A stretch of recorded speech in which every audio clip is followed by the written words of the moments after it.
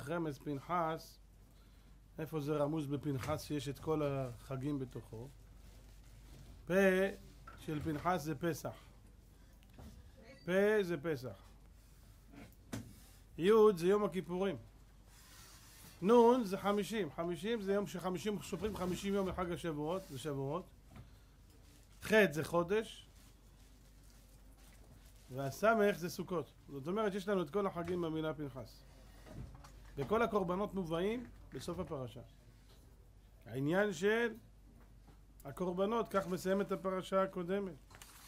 והקרבתם, עולה אישי ריח ניחוח לשם, אחד איל אחד, כבשים וכולי, כל הקורבנות של חג הסוכות. ובזה מיד מתחיל פרשת מטות. וידבר משה לראשי המטות לבני ישראל לאמור זה הדבר אשר ציווה אדוני. ישקידור נדר לאדוני, או ישב השבועה לאסור ישר על נפשו, לא יאכל דבר ככל יוצאים מפיו יעשה. זה העניין של הפה.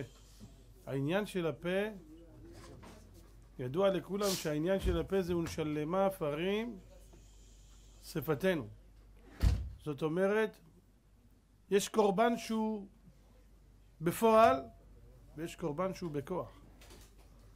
שאנחנו רבותיי משמרים לעצמנו את קדושת הפה והלשון ואנחנו נזהרים, לא יחל דברו, לא יחל דברו, לא לחלל את הדיבור, שזה אומר לא לשקר, שזה אומר לא להישבע ולא לנדור. יותר טוב שלא תדור משתדור ולא תקיים. כל הנודר נדר כאילו בנה במה והמקיימו כאילו הקריב עליה. שזה אומר שמירת הפה מניבול פה, השם יצילנו, ומאמירה של כל מיני דברים שאינם צריכים לומר, כמו שהגמרא אומרת. פה הוא מאוד קדוש. הגמרא אומרת על הפסוק. האומנם, מהי דכתיב האומנם אלם צדק תדברון משרים תשפטו בני אדם. אומרת הגמרא האומנם, מה זה האומנם? מה אומנותו של אדם בעולם הזה? אלם, יעשה עצמו כאילם. שמעתם? ללמוד להיות אילם זה אומנות. אומנות. הגמרא אומרת במסכת גיטין על הפסוק מי כמוך באלים השם, מי כמוך באילמים השם. שאתה שומע חירופך ושותק. לא יאומן כי יסופר. הקדוש ברוך הוא שומע מלא אנשים בעולם, דורות שלמים מחרפים, מגדפים, יוצאים נגד התורה, נגד השבת, ותראה. איפה אנחנו? אנחנו שספק יכולים להגיב, ספק לא יכולים להגיב, מגיבים. ברור עולם יכול להגיב בכל רגע נתון. והוא מעריך אף וממתין, איי איי איי. מי כמוך באילמים השם. האומנם? מה אומנותו של אדם בעולם הזה? אלם יעשה עצמו כאילם, זו אומנות גדולה. יכול אף בדברי תורה, אולי גם דברי תורה לא לשתוק. תלמוד לומר, צדק תדברון, התורה נקראה צדק. בישרתי צדק בקהל רב, אומר דוד המלך. יכול יגיס דעתו? אולי יתגאה, אני לומד תורה. תלמוד לומר, מישרים תשפטו בני אדם. זאת אומרת, רבותיי, שהפה שלנו הוא כלי שרת גדול ועצום. שימו לב, רוב המצוות שלנו הן נעשות על ידי הפה. תפילה זה פה, ברכות זה פה, לימוד תורה זה פה. רוב הדברים למעשה הם נעשים על ידי הפה של האדם.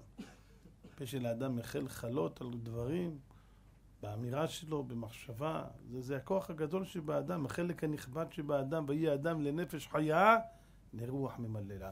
זה מה שמבדיל בינך לבין בעלי החיים.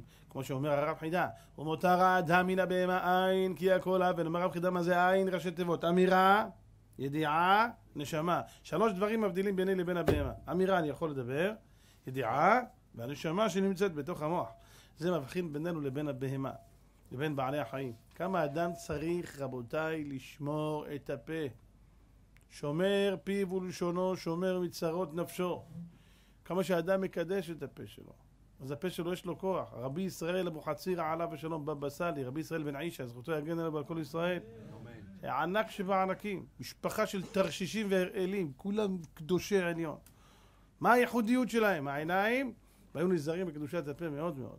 שמה מובא שרבי ישראל אבוחצירא מספר, אומר שהייתי ילד בן ארבע, חמש, פעם אחת אמרתי לילד אחד, קיללתי אותו. שמעו את הקללה שהרבי ישראל אבוחצירא אמר שהיה בן חמש. זאת אומרת, זו הייתה פעם ראשונה בחיים שקיללתי. הוא אמר לילד אחד, חמור! קרא לו אבא שלו ואמר לו, ישראל, עליך נאמר בך יברך ישראל. תיזהר מהיום רק לברך יהודים. והוא העיד על עצמו שזו הייתה הפעם הראשונה בחיים שהוא הוציא מילה הכי חמורה שהוא הוציא זה היה חמור. הלוואי על הדור שלנו, חמור. יששכר חמור גרם, רובץ בין המשפטיים, הלוואי. איפה? השם יצילנו, איפה? איפה? איפה? ישתו בשמיים פיהם ולשונם תהלך בארץ, השם יצילנו. רבותיי, יש אנשים, כל מילה שנייה שלהם כבר זה הרגל, בלי, בלי משים, זה קללה, זה ניבול פה. הגמרא אומרת, דע לך, הכל יודעים קללה למה נכנסת לחופה, אלא כל המנבל פיו מעמיקים לו גיהנם. לא מספיק הגיהנום עמוק, מביאים בובקט, חופרים, ועושים לו יותר עמוק. אתם יודעים מה שזה? למה? שוחה עמוקה, פיזרות. מה אתה? שתוק. למה לדבר דברים? לא כל דברים יגיעים יוכל לדבר איש, אומר שלמה המלך. למה תדבר כאחת הנבלות? מילים כאלה הם מטמאים מנפש ועד בשר. הם עושים רע. אדם צריך לדעת, פה שלנו זה קדוש, זה כלי שרת.